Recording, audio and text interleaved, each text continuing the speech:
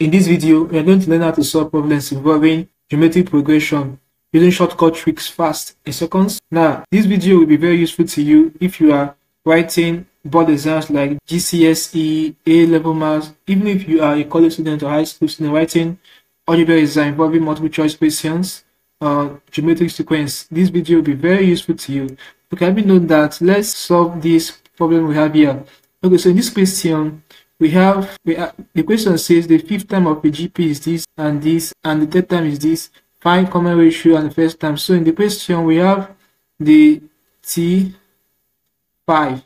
to be 18 okay we have the t3 to be 2 okay I'm looking for common ratio r and the first term a. So the general formula for finding geometric sequence or geometric progression is a r n minus 1 so for t5 is going to be a r 5 minus 1 which is the as a r to the power 4 then t3 will be a r 3 minus 1 which is a r to the power 2 okay so the trick the shortcut trick now you apply will be to get the common ratio will be to divide this higher term with the lower term. So it's going to be a r to the power 4 equals 18 divided by a r to the power 2 equals 2. So this a will cancel this a.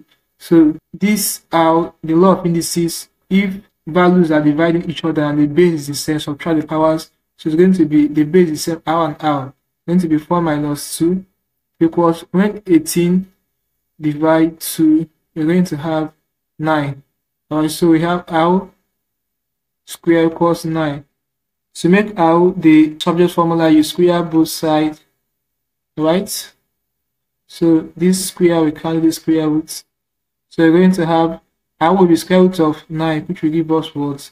3. So the common ratio is 3. Now that we have the common ratio to get the first term, very, very simple.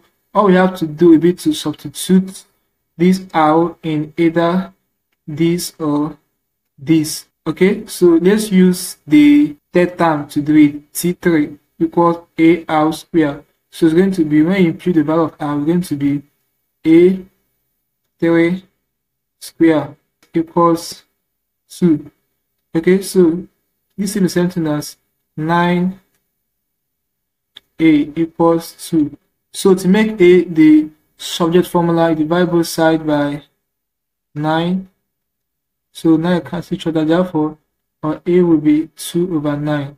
That's the first term. So guys, this is how you can solve problems involving geometric progression using this shortcut trick. Hope you learned something interesting. This video will be very useful to you writing your board exams like A-level maths, GCSE exam, and the rest of them. That's it for this slide guys. Thanks for watching. If you are new to the channel, ensure to hit the subscribe button now to subscribe to the channel for more videos like this. So like, share, and comment on this video.